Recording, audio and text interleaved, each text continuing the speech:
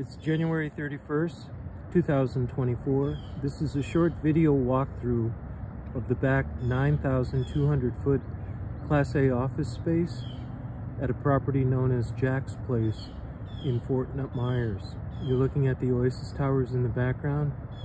I'm on the second deck.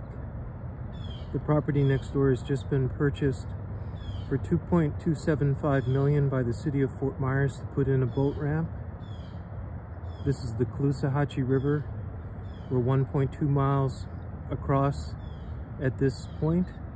It's approximately nine miles to the Gulf of Mexico and 85 miles to the Atlantic Ocean. We're on the second story. There's a spiral staircase going down to the first story and it's a one-story building. The property was just recently renovated and this section of the building has 12 offices and a magnificent executive suite on the water. This is the first floor deck outside the executive suite. The executive suite is approximately 1,000 square feet can be used either as a living area or as a magnificent uh, suite with uh, 270 degree views of the river. Has a small kitchen and bathroom and 12 private offices. This is office number six, all with tremendous views of the river. This is office number seven. And they're all similar.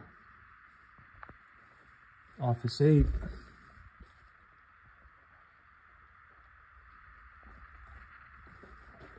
Office five. The eccentric owner currently has virtual reality equipment in this particular room, flight simulators for airplanes and helicopters. Office 8.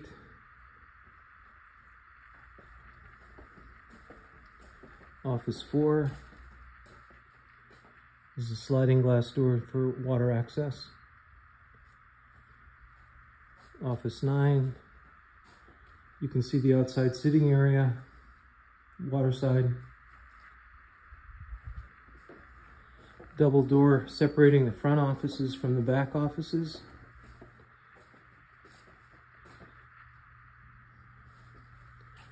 Office 3, the previous tenant before Hurricane Ian uses as a conference room for a law office. There's a large um, room here, approximately 1,200 square feet. There's some computer equipment in it. That's a Nest uh, from Google. The property has extensively uh, been renovated with high uh, bandwidth telecom from Comcast, equivalent to T3 Office 2, Office 1. Very large reception area.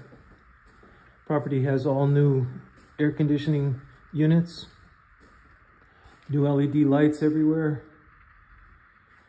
This is a very large reception area. And the outside enclosed parking lot has 24 spaces. Outside the parking lot, there's an additional 10 spaces. And that lot across the street is a half acre that comes with the property. You can either build it or you can put in another 24 to 36 parking spaces there. And down this hall, we have a men's room, a woman's room, and uh, the telecom room. Thank you for your time.